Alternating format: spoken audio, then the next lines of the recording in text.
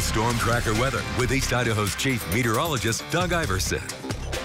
Tracking a serious chill in the air, especially late tonight, tomorrow morning.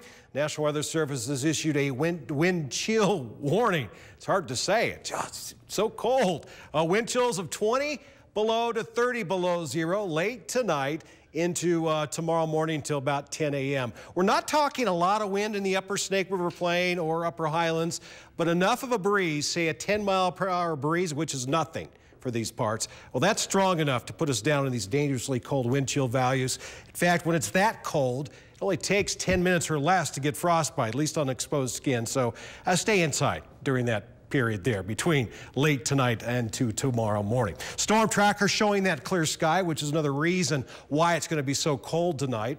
We got fresh snow on the ground. Meanwhile, we got a little bit of snow down south, just south of Salt Lake City, maybe some snow around Provo up to about point of the mountain.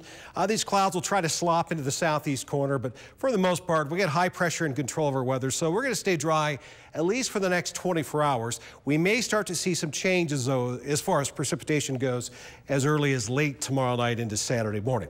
Temperature tracker, we're only at 13 up in Billings. Can always be colder. We're 13 degrees warmer in Pocatello. We'll take that.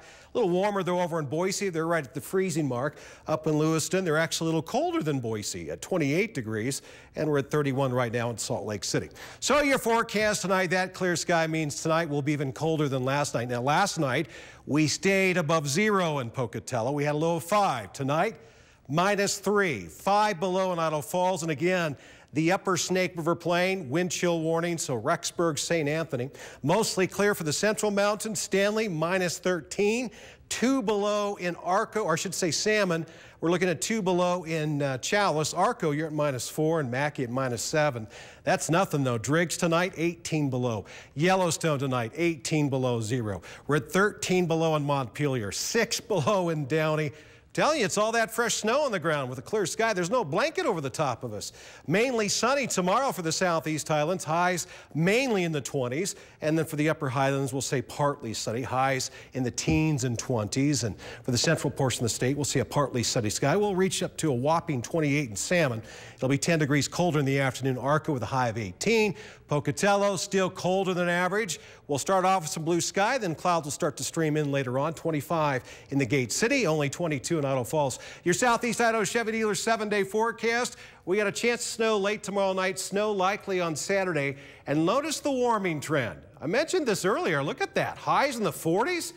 In fact, if anything falls from the sky Tuesday and Wednesday, it will be in the form of rain, not snow. Eh, it's going to get pretty messy around here, huh? Idaho Falls seven-day forecast. Starting off the weekend with snow. Could linger into Sunday. The wind machine really gets going into next week.